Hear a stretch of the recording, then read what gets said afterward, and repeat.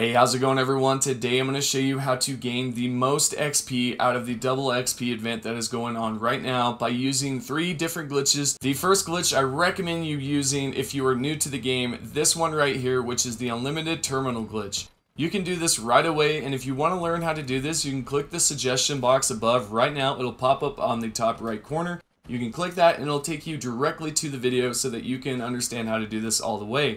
I'm just showing you the three glitches that we have found on this channel and how they are beneficial, especially since we have the double XP event going on. Whatever glitch that you decide to use, make sure that you use some lunch boxes, you maximize your intelligence, and that you use cranberry cobblers and some other XP uh, buffs there that will help you gain the most XP. The second XP glitch I recommend doing is the unlimited scorch glitch.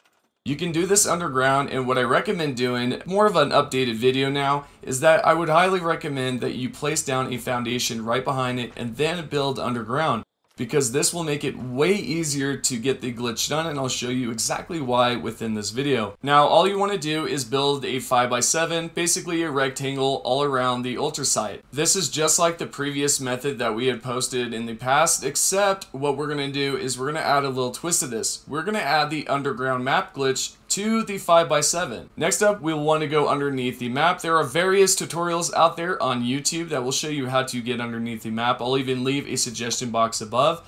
But basically, you'll want to get underneath the map, and then you'll want to create an extra set of stairs, then place a floor, and then fill up the whole entire floor so that it matches the 5x7 up at top. Then you'll want to place down your walls because this is going to be inside the 5x7 instead of it being outside of it.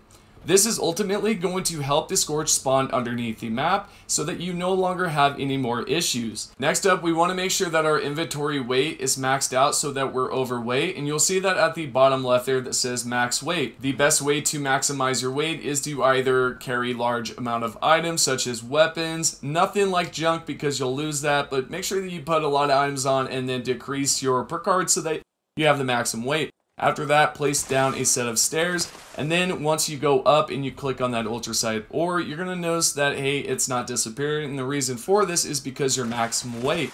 And the game does not want to add that to your inventory, so it keeps the ore there instead. In this video, I did not use any XP buffs, but if you do, you'll get more than I did right here, which is 1300 XP.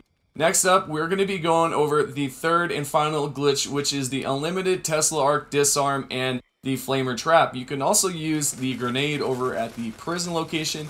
That is a great one as well. The reason why this one is at my number one top list is because you do not need to use any ammo, you do not need to use anything else except a macro, and it can be done on console if you have a turbo controller, a macro controller of some sort, or if you have a setup over an overlay, that can work out as well. With this method right here, I'm able to level up one to two times per a server hop. That is absolutely amazing and you can actually level up way more than I did if you use some lunch boxes Again, I did not use any within the video. I'm just showing you the double XP let alone. And the whole double XP event is going to be ending this July 16th. I believe that is what they said. So make sure that you're taking full advantage of these glitches before this event is over with. That is the last thing I have to say. Hopefully this has been an informative video, helpful in some ways. Have a great day, take care of yourselves, live well, and see you again guys. Peace.